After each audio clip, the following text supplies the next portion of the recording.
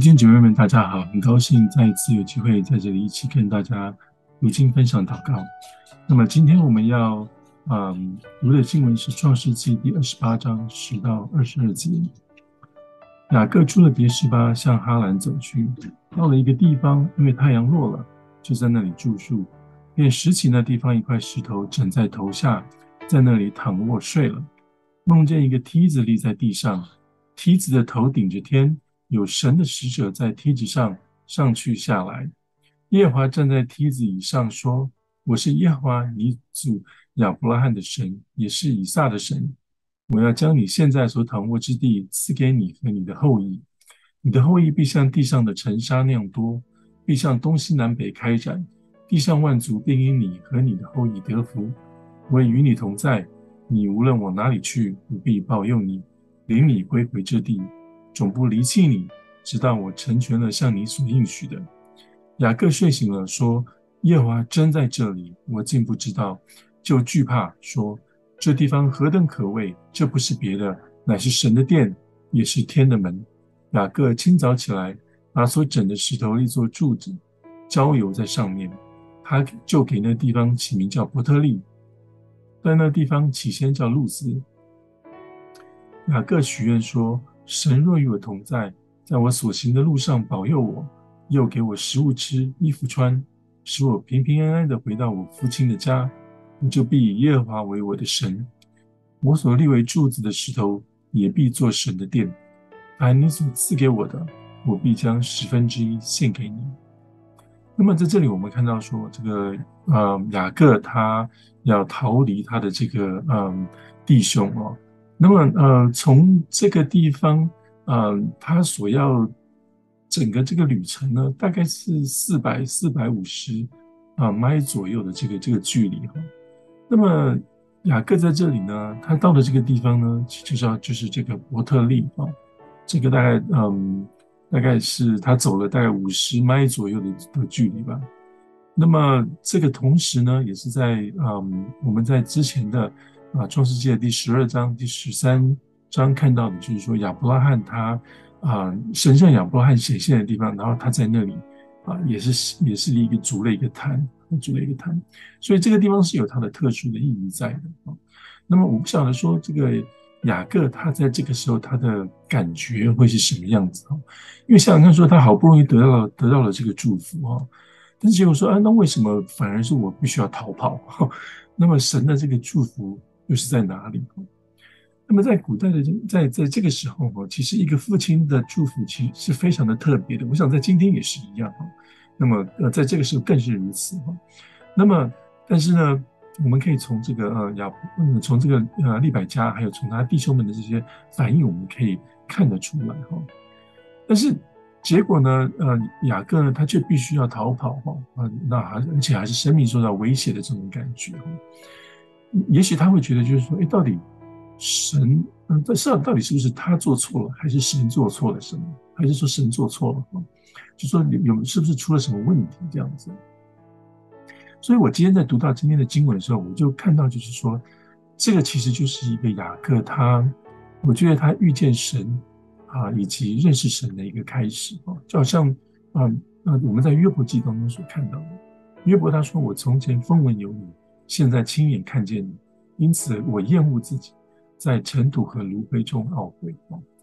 我想我们每一个人都必须要经过这样子的一个，我想不止一次哈，都需要这样的经历因为这是我们，我想我们信心成长的一个很重要的一个经历。我想当一个人当他啊认识神，或者是当他遇见神更啊更多的时候，他就会更认识更认识他自己，或者是说。他突然看见他自己啊，看到他知知道他自己是一个什么样子的人生，他就会更多的认识神。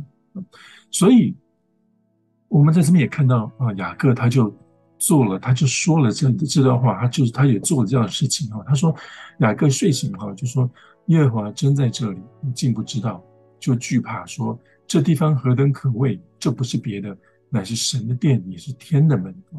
我们其实，在圣经上面看到很多时候。很多地方，当人们啊遇见神的时候，他就是这样子的一个反应。那么雅各他清早起来，把所整的石头立做柱子，浇油在上面，他就给那地方起名叫伯特利啊，就神殿的意思啊。那么，所以我们在嗯第这边第十三节、第十五节就看到说，神他怎么样子的，呃，跟雅雅各去讲说他是谁，他是怎么样的一位神哦，并且神啊，与要自己与他同在哦，呃，就像这个在嗯创世纪之之前啊，这个以扫给他祝福的时候，他说：“愿多民侍奉你，多国跪拜你，愿你做你弟兄的主，你母亲的儿子向你跪拜。”凡咒诅你的，愿他受咒诅；愿为你祝福的，愿他蒙福。我想他在这边听到神他给他的这个嗯应许的时候，我想他就可以，他我想他就呃可以慢慢的来去了解说，哦，原来神的恩典，原来神的意思，原来神的祝福是在哪里啊？他就我想他有一个比较呃开始就有一个比较清楚的看见。那么也因此，当我们继续看到最后面这三集的时候，我们就看到说。呃，雅各他怎他真的是怎么样子的来认识神，更多的认识神哦。我想这个问题也是同样我们可以来问我们自己的。